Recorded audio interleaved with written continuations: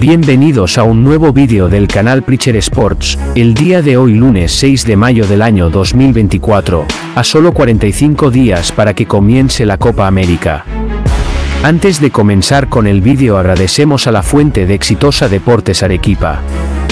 Entonces, el día de hoy lunes, hay un tema sobre las conclusiones que dejó el triunfo de Melgar contra Sport Boys del Callao, y también hay una información sobre la continuidad de Marco Valencia en Melgar. Aquí les dejamos todos los detalles. Beto Wilga, ¿qué tal? ¿Cómo te va? Muy buenas tardes. Hola, hola Alan Raimundo. ¿Cómo estás? Un abrazo para Panchito, para Arturo, para Elmer, para Richa, para Juan José en la producción. Sí, ¿no? Que qué terrible. Y yo creo que ahí se tendría que hacer algo al respecto para sancionar ese tipo de acciones donde hay un jugador que arteramente, arteramente hace la finta, arteramente hace el teatro, actúa y de una mala manera para sancionarlo cuando termine el partido para la siguiente fecha, no sé, ¿no? O sea, no puedes premiar a una persona, a un falso, a un falsete, a un mentecato, habilitándolo para la siguiente jornada. Creo que una sanción tendría que eh, recibir eh, Barco. Terrible, realmente es una noticia que da la vuelta al mundo, ¿ah? Lo, lo de Barco. Increíble. Por ahí apareció un meme que sí me causó mucha risa. Dice que Barco se, se desmayó cuando se enteró que Jefferson Farfán dejó de pasarle la pensión a Melissa Club. Sí, ¿no? creo que no, pero, pero igual, igual pasa la pensión, pues, ¿no? Entonces, eh, Jesús Barco dice que le dio un patatús, que se tiró, no pudo entender la magnitud de esa información y tuvo que apelar a, a desmayarse. Uno que nunca, pero nunca finge una lesión, ¿ah? Cuando lo tocan y se tira, no, no, no, nunca finge, ¿ah? Yo lo he visto, ¿ah? Nunca finge, pero nunca, nunca finge lesión alguna. Pancho González, ¿qué tal? ¿Cómo te va? Muy buenas tardes. ¿Qué tal, Alan Maita? Un saludo para todos los amigos oyentes de Radio Exitosa, Exitosa Deportes, Arequipa y el plantel periodístico de equipo de primera. Claro, nunca finjo una falta y también cumplo la misión que me daba Alan Maita cada vez que había pichangas La entre los misión. medios de comunicación. Está loco. Ya va a comenzar. Pancho, tienes que hacer esto. ¡Juá! Está loco. Solamente cumplía. No tienes alma de, Luego de me- hachero, de hachero, no tienes alma de hachero. Luego ahí por ahí se enojaba, no sé, pero yo solamente cumplía lo que Alan Maita, lo que Alan Maita decía. Ah, falso. A ver, eh, bueno, en cuanto a lo, a, a lo de Barco, como comentaba con Arturo, con Alan, viendo la directiva de Sport Boys, los memes, las reacciones de burla que está viendo en redes sociales en contra del volante del equipo rosado, si hubiera pasado realmente lo que, a ver, lo, lo que ayer generó preocupación en un momento, ¿ah? porque Harrison Vizcarra, como lo comentaba en la transmisión Alan, ingresó de una El forma médico de Melgar. rauda, el médico de Melgar. Ojo, y después también los médicos de Sport Boys. La ambulancia ingresó al área del cuadro rosado, que en ese momento estaba en la parte sur. O sea, si realmente hubiese pasado lo que, lo que pensaba la gente, lo que pensaban los jugadores, pues yo creo que Sport Boys ahora hubiese ya presentado un comunicado público. Diciendo pues de que eh, Barco tiene esta situación, está en este estado. Porque ayer también en conferencia de prensa, el, el Ah, técnico del equipo rosado dijo, di- dijo pues que él estaba mareado, de que lo estaban llevando a una clínica de la ciudad. ¿A qué clínica? O sea, si, si nos ponemos a investigar, realmente ingresó a una clínica. O sea, hay situaciones donde realmente dejan mal parado a dichas instituciones.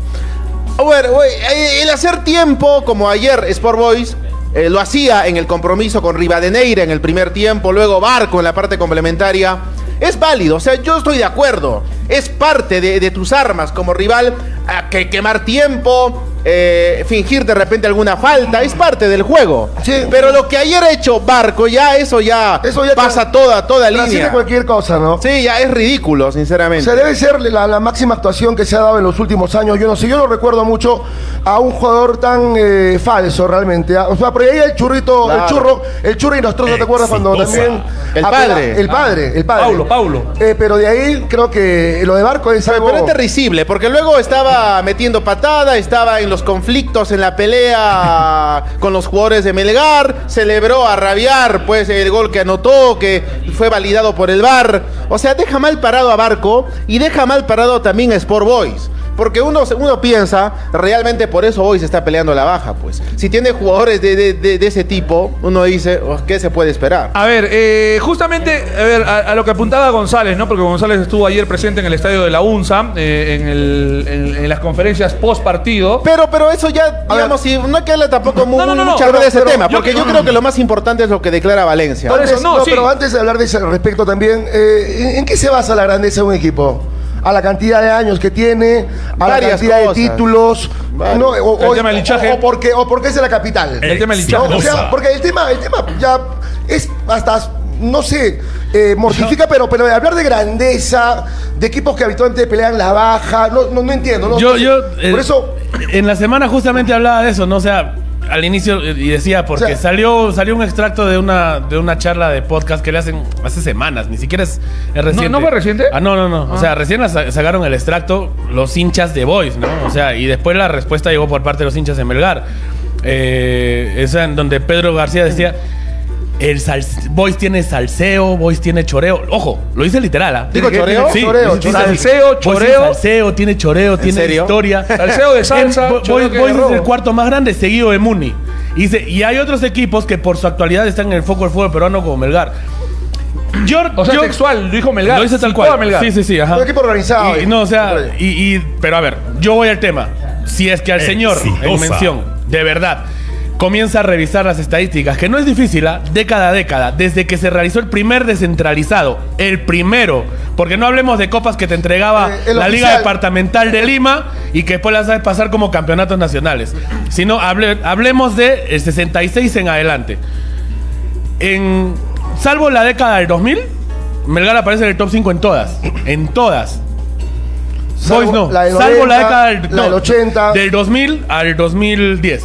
No, o sea, pero que debe haber en- sido la en- década en- más en el baja. 90 Melgar también, Melgar también era más que Boys. O sea, no, por eso, por, por eso te digo. esa es la salvedad del Por eso 2000 te digo, 2010. salvo esa década del 2000 al 2010. Ah, esos diez- que esos- no esos está- 10 años. Sí, que no está en, en ese top 5, digamos, de, de puntajes acumulados. No, en pero todas las eso- demás por eso yo- aparece yo le Melgar. pregunto a la mesa, ¿en qué se basa la grandeza de un equipo? Yo creo que es subjetivo. O sea, ¿ah? O sea, por, eso, por eso digo, o sea, antes, de antes de hinchas- hablar de, grandeza y cosas así, el señor. Si me dice la cantidad de hinchas, a ver, tú comparas un partido del Boys con un partido que juega Melgar aquí en Arequipa, Melgar te puede Eh, llenar un eh, estadio, eh, pero, o sea, así en su mejor momento, en su mejor época, que el hincha sea un hincha Pero- eh, turista que va cuando, pero, pero te llena un estadio. Yo creo que es subjetivo, Beto, eh, Alan Arturo, porque al final de cuentas, para una persona, por ejemplo, hinchas de Alianza, Melgar, Cristal, la U, etcétera, para algunos puede ser de que el grande de Perú sea Cienciano, por haber ganado a nivel internacional. Tiene Algo dos que copas, ¿no? nunca, nunca se ha eh, vuelto a hacer después de esas dos temporadas.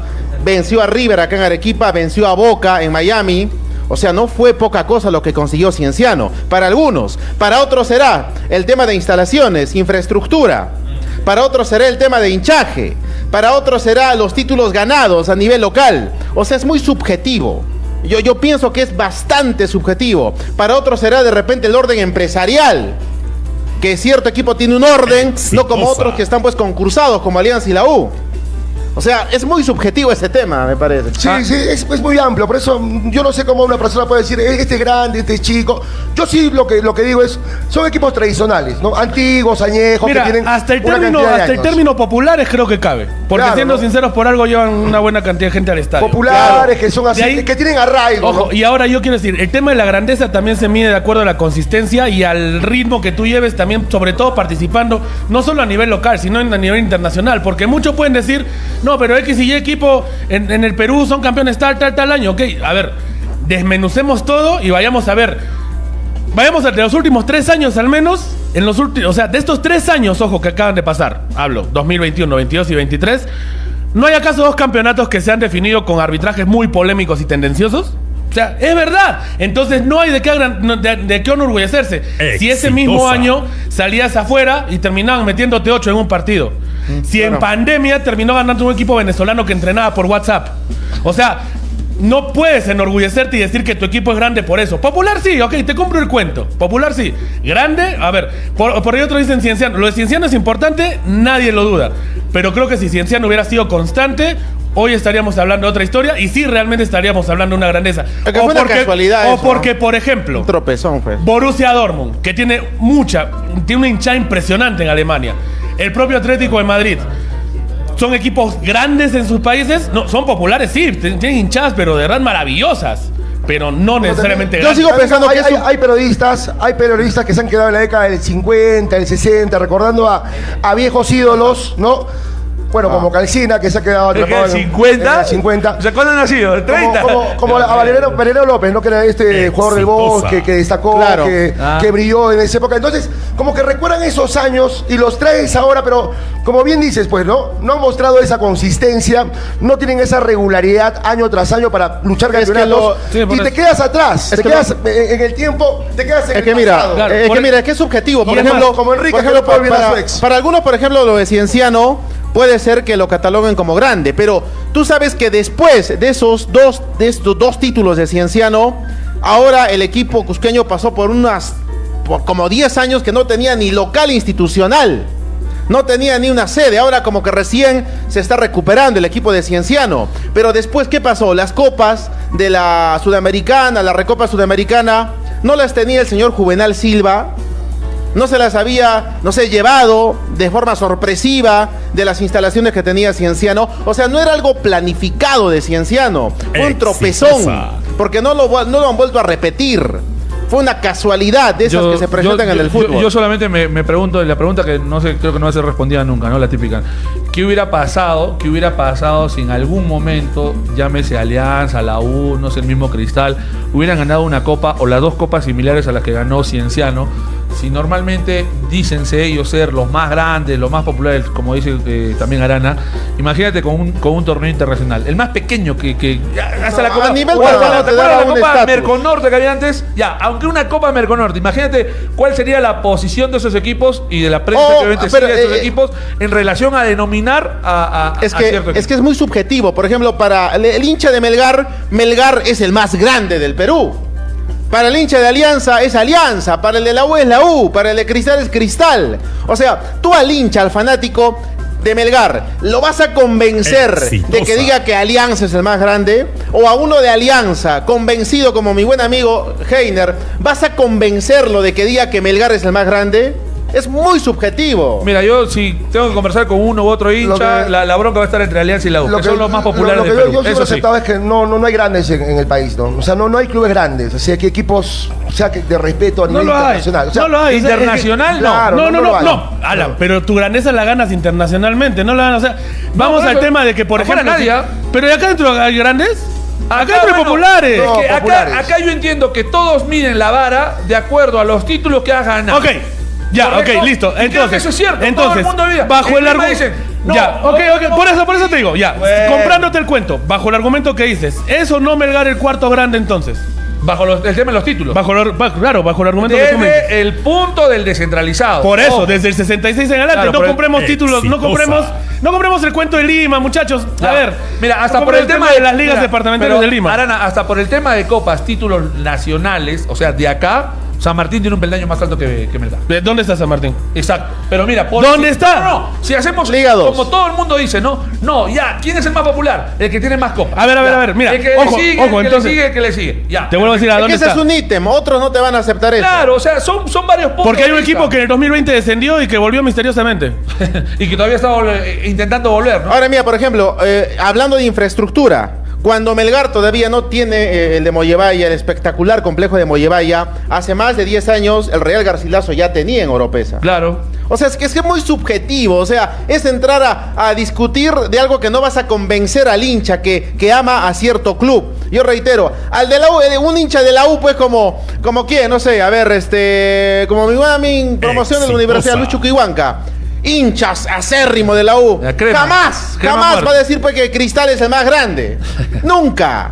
O sea, es- es- tú quieres convencer a un fanático, a uno que está eh, cegado por el amor a un equipo que diga que el otro es más grande. aceptar la realidad y decir, no, no, no son grandes, son populares, pero no. O sea, que, que tienen Más la, arraigados. la mayor cantidad de hinchaje. Es que la verdad, Que porque- tienen la mayor cantidad de seguidores. Porque no, mira- No sé si hinchas o adeptos, pero sí simpatizantes. Yo creo que todo No, va de la, hincha, yo no, creo que no, todo, yo creo que todo va de la mano, ojo, porque también no, no, a veces no alcanza un equipo que en realidad tenga logros internacionales, pero que tampoco el arraigo sea el que esperas.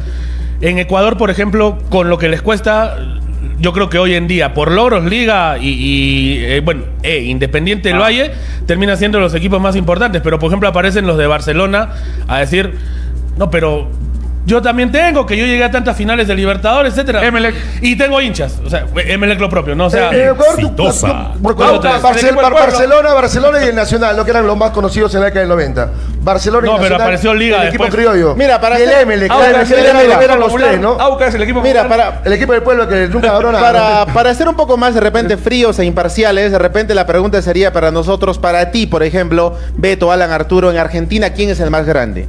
Ahí eres totalmente imparcial. yo creo que Boca. Yo creo, que, yo creo que River. ¿Quién? Yo creo que River en lo personal. No sé, por el tema de títulos, Boca se lleva, creo. Claro, tiene más Libertadores. pero, internacional. Intercontinentales también. Eso también. Porque si ¿no? vas a preguntarle a uno... Y además no descendió. Porque si vas a preguntarle a un hincha de Boca, River es el más grande, te manda a rodar. Pero pues, ¿aceptarías que alguien te diga que Vélez es el más grande de Argentina? Los hinchas de Vélez. No, no, pero tú. No, pero digamos, si Argentina pero con una está marcado persona acá, pero peruano de repente dice, no, yo creo que Vélez, porque yo vi a Vélez en la década del 90 y yo recuerdo eh, esa Libertadores y esa in- in- intera- Exitosa. interamericana, Intercontinental. intercontinental. Chicos, es muy subjetivo. Claro, entonces hay gente que vive del pasado. Es muy subjetivo, pero, pero ya.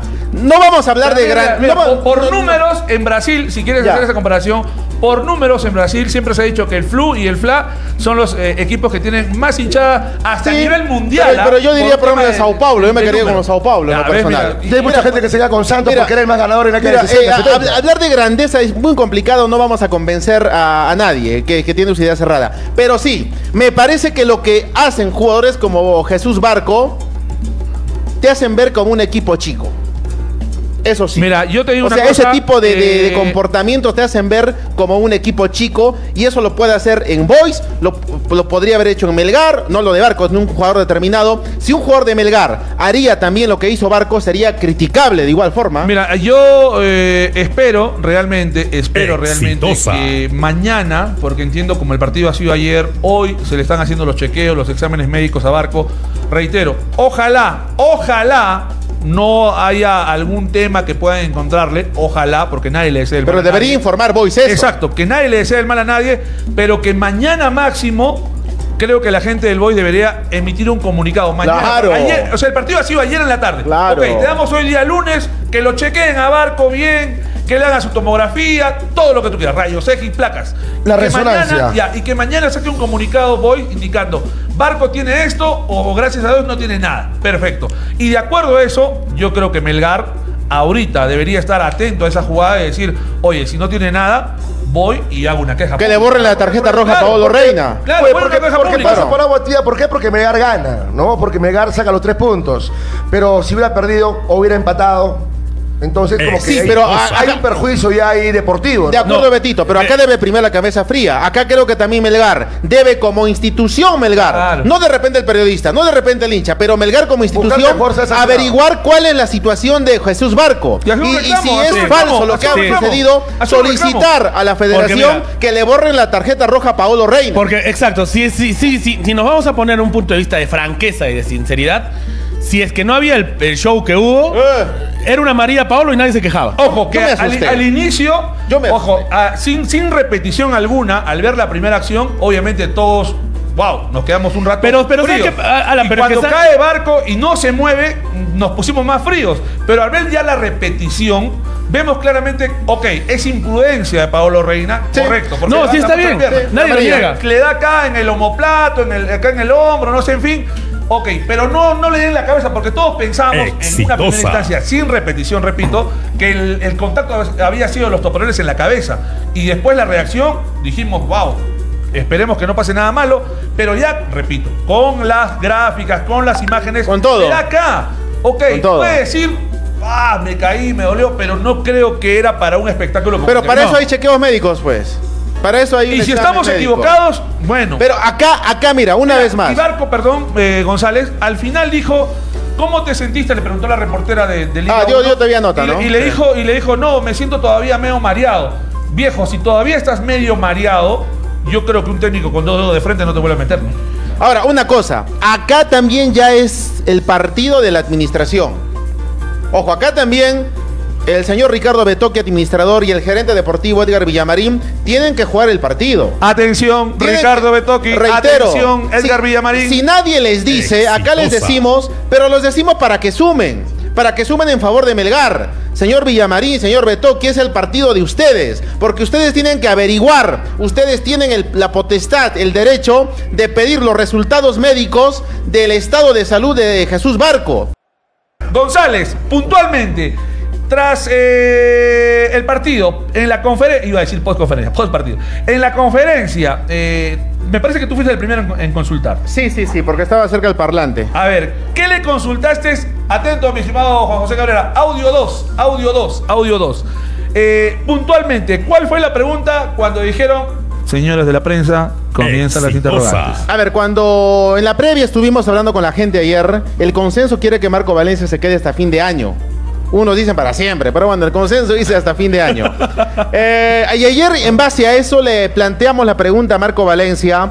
¿Qué es lo que había conversado el día jueves con Jader Rizkalén Moyevaya? Ah, en el momento y de el que día, esbozó la sonrisa. y el día viernes, y el día viernes con Ricardo Betoki en el Estadio Monumental de la UNSA. Ojo, ¿qué es lo que había hablado? Y en todo caso, No, el jueves, el jueves, el jueves. ya, en todo, Porque el viernes no por eso. Al revés, entonces. Claro, no, no, el miércoles en Mollevaya Ah. y el jueves en la UNSA. Bueno, habló con Jader, habló con Betoki. ¿Qué es lo que se podía en todo caso decir? ¿Qué es lo que se podría haber comentado de esa conversación, Marco Valencia? Ahora, se le hizo la pregunta porque está vinculada a la situación del equipo. La gente quiere que se quede Marco Valencia y la gente necesita saber cuál es la situación de Marco Valencia. A esa consulta, esto responde Audio 2, el técnico de FBC Melgar, el señor Marco Antonio Valencia y Pacheco.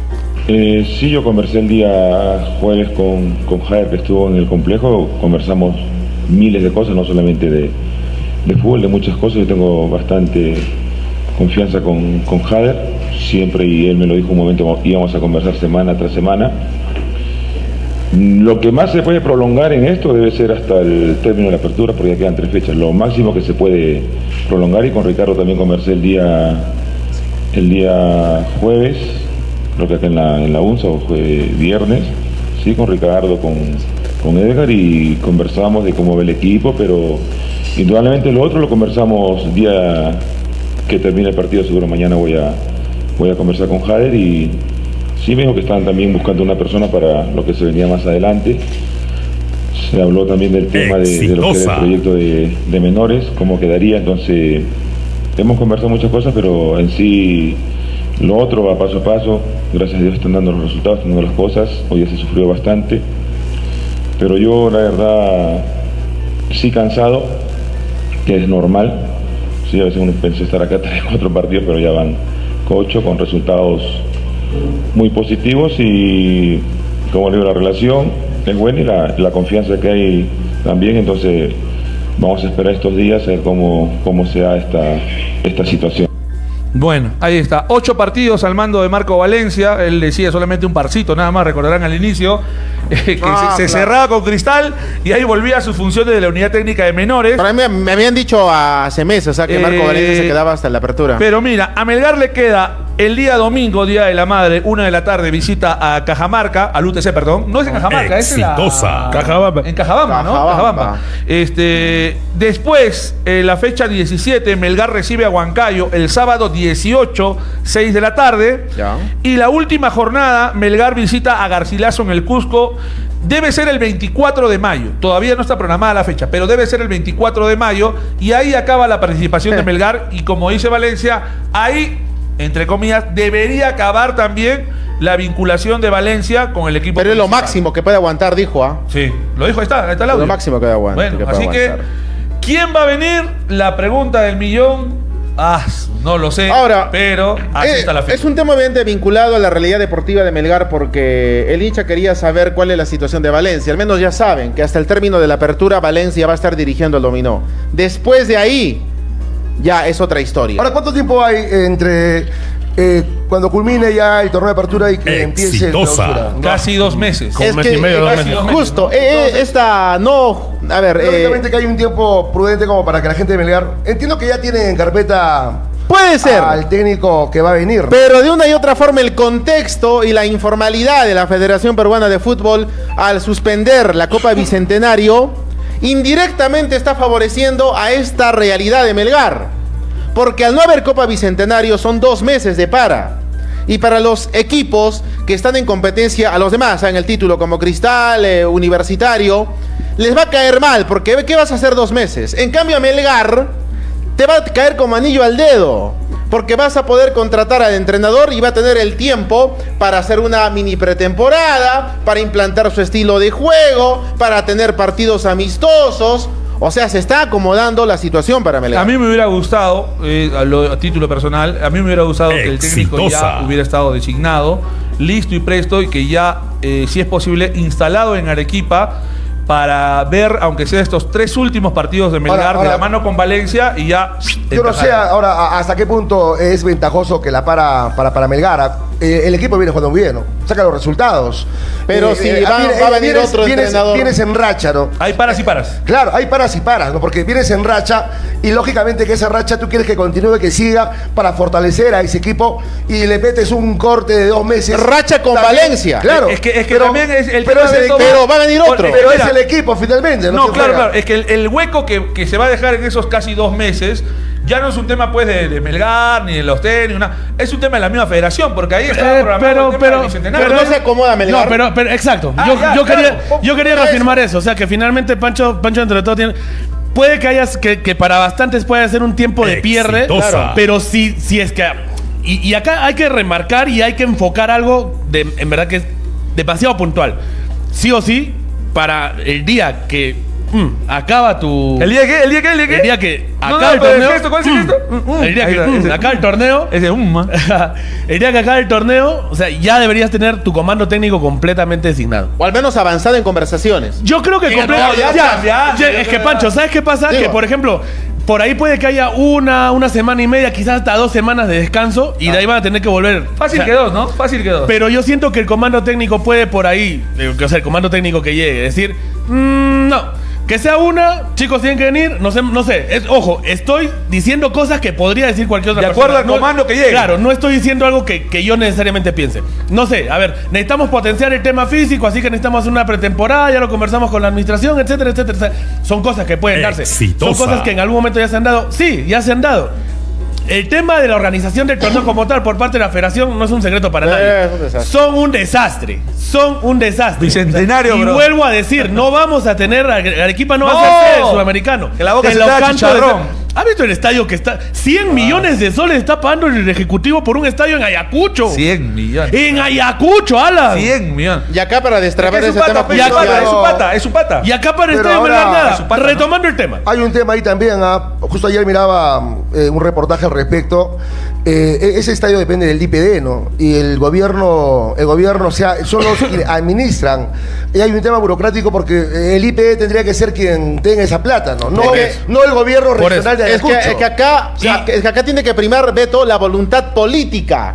O sea, cuando hay voluntad política, cuando tú quieres hacer las cosas, Juanjo. la puedes hacer. Pero cuando no te da la gana, también no, no mueves ni no, siquiera no. ni un ladrillo. Voy, Sí. voy- voy al tema de que, de que eh, Pero- la entrega de Dina Boluarte de 100 millones, ¿va a quién? Va a, a Oscorima, que es el gobernador regional. Cuando no tendría que ser así. Cuando tendría que ser al IPD, porque ese estadio es del IPD. Entonces ahí también hay otro problema que se genera en torno a la entrega de estos 100 millones, ¿no? Vamos a, a la forma. No, y yo voy ¿Me al tema que estaba tocando y retomándolo, porque creo que el tema de los árbitros, perdón, el tema de los estadios es un tema muy aparte y que el día que lamentablemente aparezca el comunicado de Conmebol diciendo se le ha retirado al equipo a la organización del, del sudamericano, ese día podremos hablar ya ampliamente. Y no es que yo quiera, ojo, a mí me encanta que el sudamericano se desarrolle acá. Que venga, pero que venga. La realidad es otra. No se le está dando la importancia de vida. O sea, el día viernes hablamos con un periodista de Lima Con Fleischmann. contradictoria como Que él, no sabía nada. Que no sabía absolutamente En Lima nada. no sabía nada, no sabe Arequipa. en Entonces, o sea,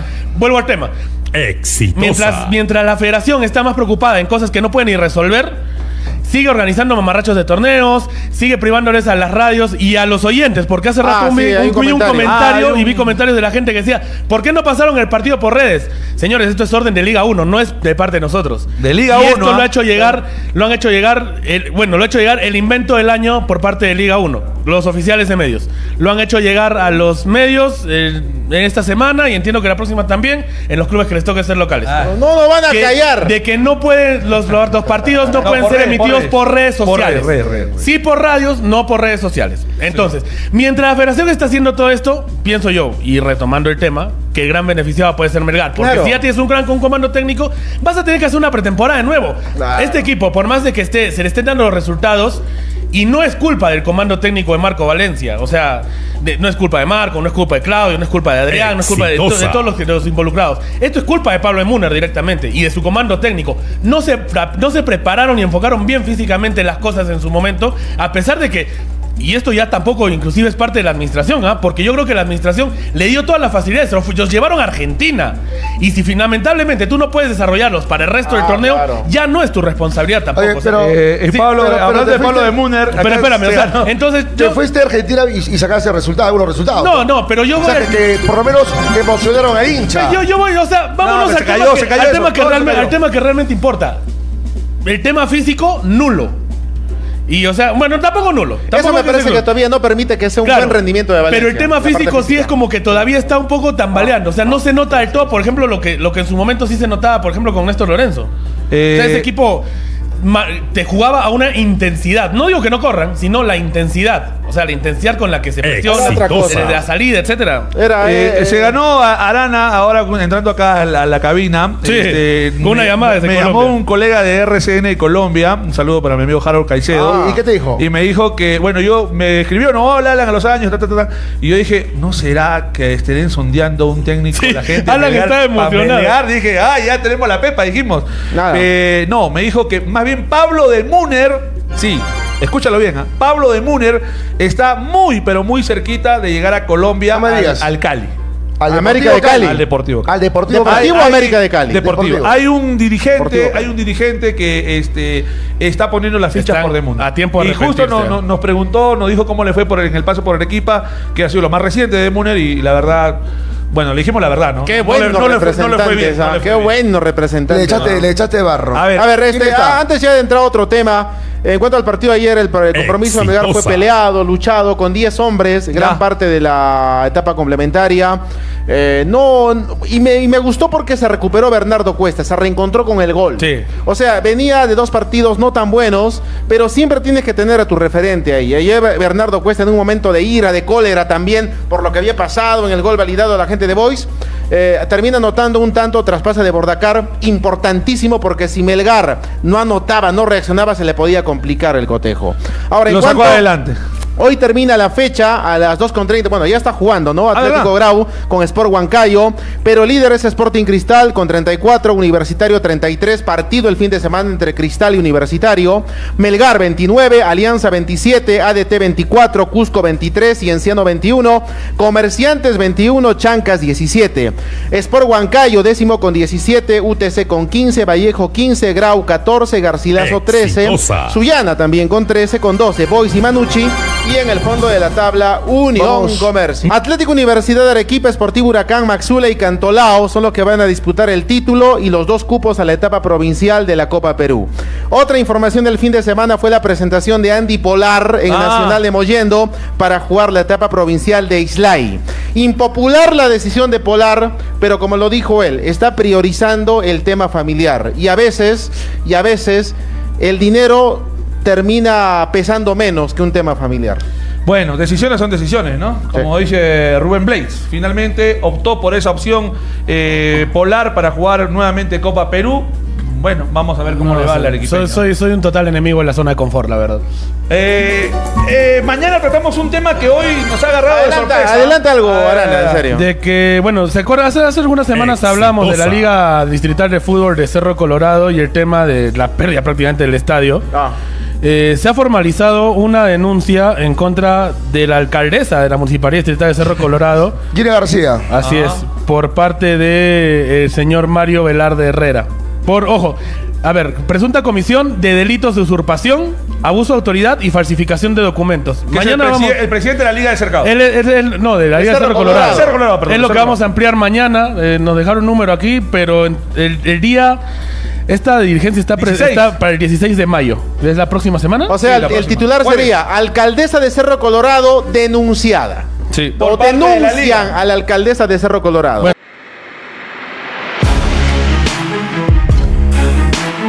Gracias por ver el vídeo. Recuerda dejar tu like y compartir. También activar la campanita de notificaciones para que no te olvides de los próximos vídeos que se estarán publicando en el canal. Y si eres nuevo recuerda suscribirte a nuestro canal Preacher Sports porque van a venir más informaciones y vídeos como este.